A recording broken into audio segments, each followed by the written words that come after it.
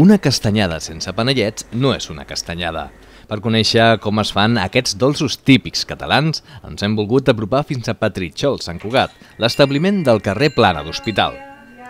Ens hem acostat fins a l'obrador per conèixer de primera mà quin ha sigut el procés d'elaboració d'aquestes pastes típiques de Tots Sants. Lo básico es trabajar con una buena materia prima, o sea, trabajar con, con, al, con almendra, porque sabes que lo, los panellets, aunque algunos los mezclan con patata o, o, moniato, el paladar agradece si se hacen solo con, con almendra. Obviamente la almendra eh, sería molida, ¿ok? Se mezcla con azúcar glass y huevo. Esto mm, es lo que te va a hacer la masa del, del mazapán, ¿vale?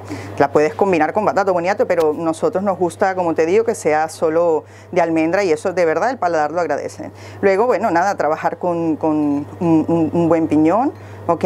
Y luego de preparar las, bolitas de masa y, trabajar el mazapán, pasar un proceso de enfriamiento primero. Si vas a hacer los de piñón o los de otros sabores, pues los separas por, por partes. Eh, aquí, por ejemplo, te, te he dejado aquí como para manipular uno siempre hay que presionar bien para que se, para que enganchen.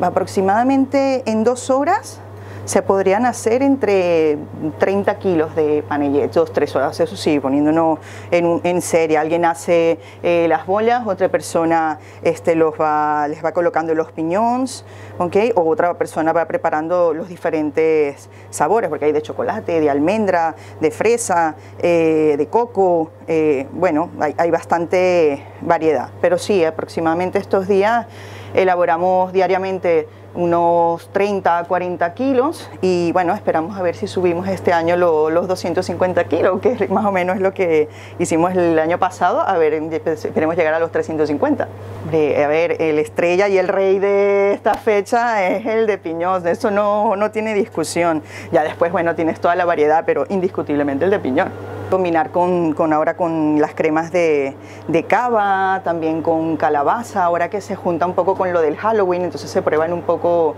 estos nuevos sabores y lo demás es imaginación, ¿sabes? Lo importante es que esto lleve mucho cariño, paciencia y, y ilusión para, para hacerlo. El resultat ha sigut aquesta safata plena de panellets de pinyons a punt per menjar. Si voleu tastar els panellets de la Ketty, els podeu trobar a Petritxol Sant Cugat, al número 20 del carrer Plana d'Hospital, on ja porten 10 anys endolcint a tots els santcugatencs.